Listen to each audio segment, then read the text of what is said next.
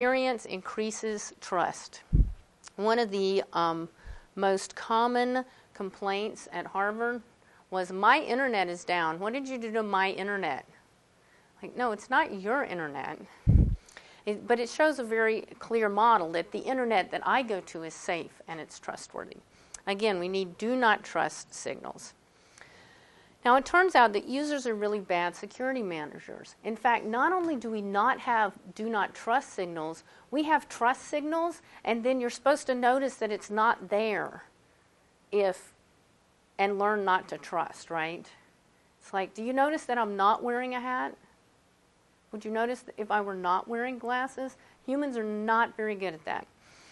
Um, so, it, you know, you want it to be a default. And there are pretty much two ways to do this. You can educate all net users to behave the way we think they ought to, or you can assume they are. Computer security is built for machines, and another example passwords. Here's your basic rule of passwords think of something you can't remember. Don't write it down. Who can, this is not a human design. So, SSL, two categories secure and not secure. If you have the ability to draw a little box over the little tiny, tiny, tiny red warning sign, you can look secure. And there has been one documented case of SSL enabled SSL enabled phishing. How did that happen? Somebody went to VeriSign and paid them money. Shockingly enough, VeriSign gave them a key. And then look at something like, um, you guys know pretty the P3P, the platform for privacy preferences, where a vendor asserts, "This is what I'll do. I promise I'll respect your privacy." Well, what if the vendor's lying? It turn, I mean, I suspect that if phishing sites had privacy policies, they'd be pretty good. You don't want other people stealing those credit cards. You've just gone to all that trouble to steal, do you? That's work. Okay. It also assumes one standard for all transactions. PGP, all right, I trust you. You tell me to trust these guys. This is what I call the Sandra Dee problem. Anybody watch, you know, the movie Grease? Okay. So she comes in. I, I personally don't like that movie because she comes in and she's like headed for a scholarship at university, but she meets Eugene, and so she meets all of Eugene's friends, and so she ends up deciding she's not going to go to college. She's going to have life, you know, wearing leather at the bowling alley instead, right? So maybe I just see this too much like a parent, but that is a problem that she met one person in the network, so she met all these bad people in the network that trust distinguishes. So you introduce me to everybody in class, and then you introduce me to a whole other set of people. It turns out later that you're not trustworthy. That doesn't get backed out in the web of trust. There's not a path dependency. Key revocation, another example, great example. This is, um, oh, there, your verifier. She was talking about you have different levels of revocation in your verifier. It makes a difference if somebody's credit card is stolen, if it expires, or if when they showed up it was stolen to begin with. There are different kinds of revocation. All right.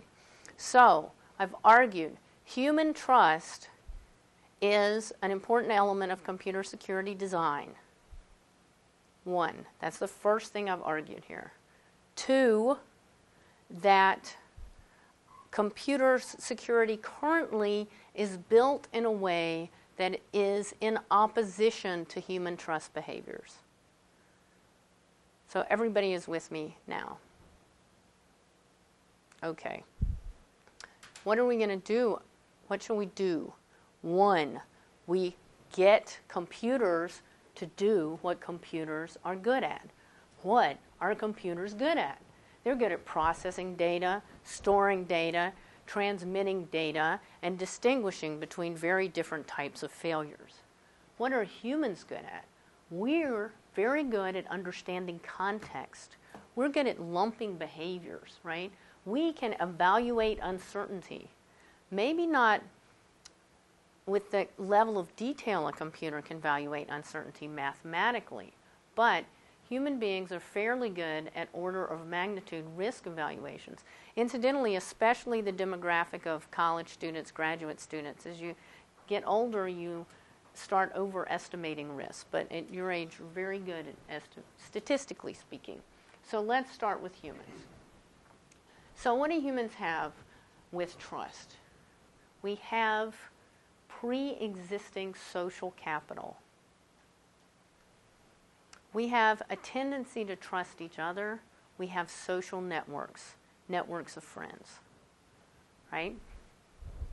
That's what I want to talk about building on. So, the first thing is we have to think about well, what, what do we want to build for users? We have to have a meaningful signal if we want to build this for users. So it turns out we're not even talking to users, right? So, identity theft. Identity theft worries many people, and reasonably so. It's unauthorized use of authenticating information to assert identity in the financial namespace. I'm just saying that's a good, solid definition. That's not what we call it in security. ChoicePoint had an internal process violation. They accidentally faxed 145,000 records to Kinko's. I think this is some kind of achievement, actually. And, and they didn't notice it was the Kinko's, and that it wasn't a real business. In fact, they didn't notice that the six businesses they thought they were faxing to all had as their office the Kinko's. So it was, you'll be relieved to know, a violation of their own internal process that says we do not fax huge chunks of information to Kinko's. In Berkeley, there was a security violation. There was this is a process violation, right? We know these are different. A process violation is different from a security violation, which is different from a confidentiality problem. Bank of America, right? Backup data 1.2 million records because they lost their backup data and they don't they did not at this time encrypt their backup data right? This is the same for everyone. Everyone who lost a social security in, everyone whose social security number was picked up by a thief had the same experience. They don't want to hear about internal process violations. They want to hear about being safe from identity theft Ooh. I don't like standing behind this because I feel like you're so distant. But this isn't working either. Ha. So, one of the things people are pretty good at are making contextual decisions. This is the ladies' jewelry market in Hong Kong. This is Tiffany's on Fifth Avenue. You can buy pearls at both of these places. One place is better in terms of credit card fraud than the other place. One place is better in terms of accurately representing whether or not pearls are natural pearls, whether or not they're, they're fresh water, right? Can you guess which one of those is more, you know, trustworthy? We have offline a lot of ways to identify resources as good or bad because we have a lot of context. Now, compare this. This is even more extreme. You know, at least those were both jewelry markets, right? This is a bank. This is this is like somebody's machine in somebody's house that's owned that is being manipulated by organized crime, right? And look at the difference here.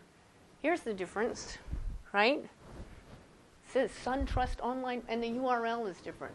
But that's a decent, you've got to admit, checking space SunTrust is a pretty good phishing URL, right? At least they have a, I thought this was a fairly good phishing site. How are we going to solve this? Well, economics tells us that signaling is a way to solve this. Because what you have in Tiffany's and the Hong Kong jewelry market are